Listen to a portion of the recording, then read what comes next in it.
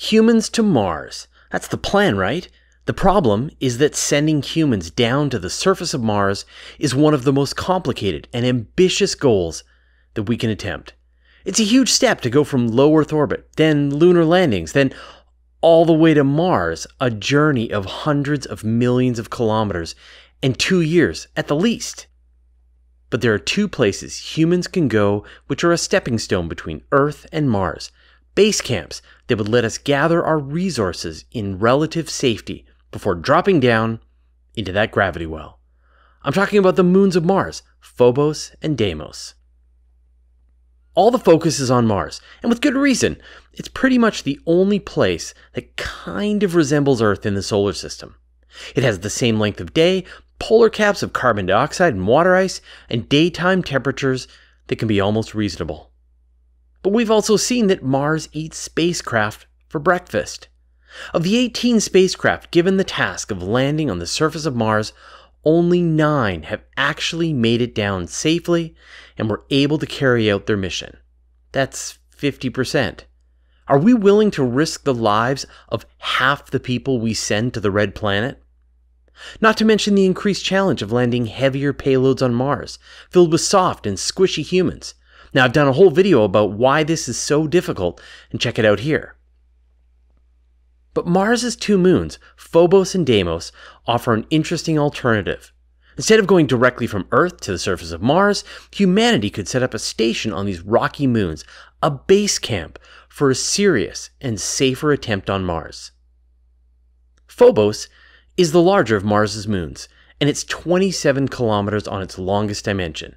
It's similar in composition to a C-type or carbonaceous chondrite asteroid.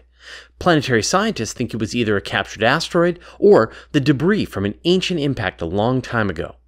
It's covered in fine powder made from eons of micrometeorite impacts and has absolutely no atmosphere. The moon orbits above Mars at an altitude of 5,989 kilometers and takes only 7 hours and 39 minutes to complete an orbit around the planet.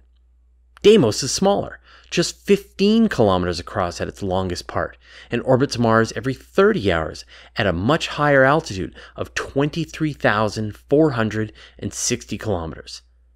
So, what would it take to set up a base on these moons, and why is it any better than just going directly to Mars? Even though it's less massive than the Earth, Mars still has a significant gravity well. In order to go from the surface of Mars to low orbit, you need a velocity change of 3.6 kilometers per second. And if you want to go from Mars back to Earth, you need a velocity change of 6 kilometers per second. In 2015, three engineers from NASA JPL proposed a minimal architecture for human missions to Mars, proposing a series of missions which establish a beachhead on one of Mars' moons first before sending humans down to the planet. They suggested that a campaign to send humans to Mars would be broken up into four major stages. First, missions would be sent to Phobos to set up infrastructure on the moon. Next, astronauts would go down to the surface for a one month stay. Then, a longer one year expedition would be carried out. And finally, there would be the move to a permanent presence on Mars. Setting up a presence on Phobos would require four launches of the Space Launch System Block 2. But SpaceX Starships would work nicely too. The first three rockets would carry supplies, a Phobos habitat, and a return vehicle for astronauts to come home. The fourth launch would take an Orion capsule with four astronauts to Mars, following a 200 to 225 day trajectory to bring them to Phobos. The astronauts would live on the Phobos station for about 500 days, performing science on Phobos. Then they'd come home, maybe even make a side visit over to Deimos on the way back, taking another 250 days to return. Based on the lessons learned from the Phobos mission, the actual landing on Mars would take another six SLS launches. And there'd be more supplies and a 75 ton Mars landing vehicle which would wait in a high Mars orbit. Finally, crew would launch from Earth, make the journey to the Phobos station, and then prepare for a landing on Mars. When the conditions were right, two crew would transfer to the descent vehicle and land on Mars, spending about a month down on the surface while the other two astronauts remain on Phobos. The first human would set foot on the surface of Mars sometime in the 2030s or 2040s. At the end of their month, they'd climb into their ascent vehicle, return to Phobos, and then all the astronauts would come home again. With everything tested and proven, more rockets would launch to Mars, carrying more supplies for the Phobos station and a growing Mars base. And astronauts would carry out year long expeditions on Mars. And eventually, there'd be a permanent presence on Mars, with overlapping crews at Phobos, at the growing Mars base, and in transit. Now, I know the joke you're going to make that SpaceX will be sending starships a decade earlier and this whole process is irrelevant. Ha ha, stupid NASA. Maybe, but Mars is completely hostile to human life. There's absolutely no infrastructure there today, and nobody has fully thought out the thousands of details it'll take for humans to survive there permanently. It's hundreds of days away with our fastest rockets, and anyone who does go to Mars will be beyond any kind of rescue if anything goes wrong. And when it comes to Mars, you need to assume that things are going to go wrong. Anyway, if Starship does fly, then NASA just becomes a customer and gets to do these missions cheaper, faster, with more redundancy and safety. Remember that NASA is SpaceX's biggest customer. It turns out that Phobos might actually make the perfect spot for a partial space elevator. In a 2003 paper entitled Space Colonization Using Space Elevators from Phobos, NASA engineer Leonard Weinstein looked into the feasibility of this idea. A tether could be lowered down from Phobos, ending just above the atmosphere of Mars.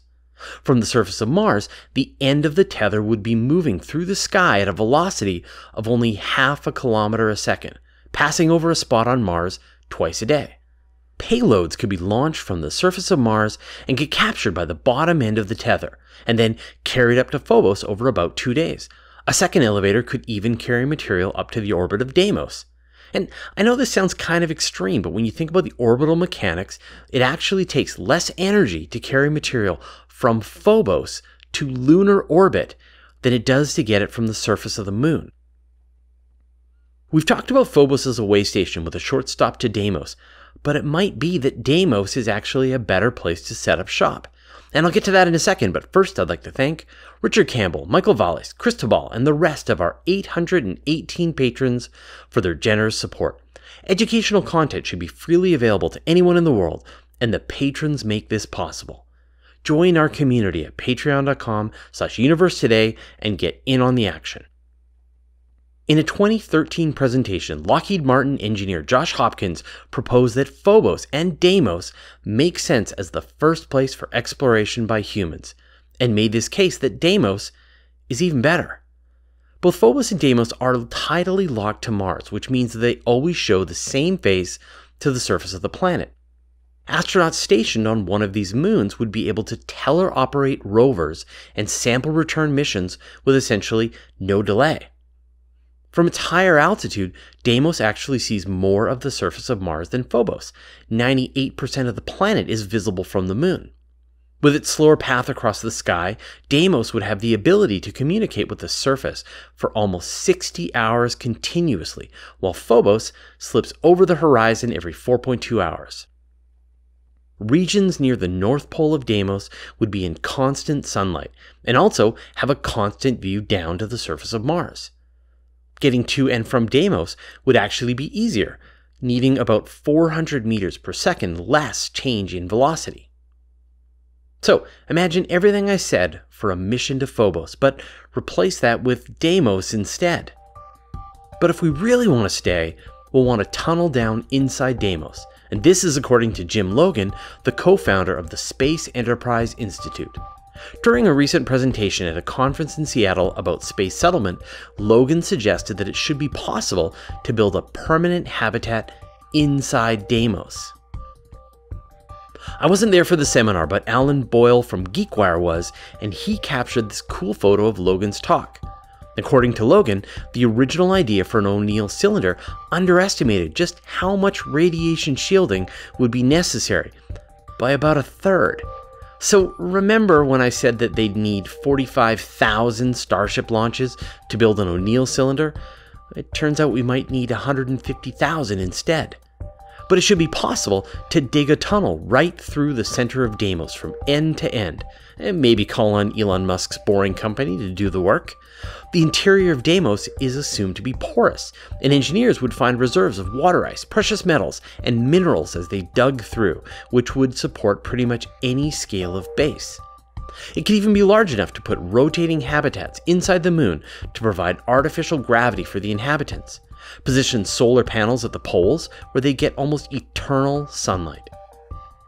All this focus on Mars, but there's a case to be made for the moons of Mars, Phobos and Deimos, to serve as the first places we visit in the region.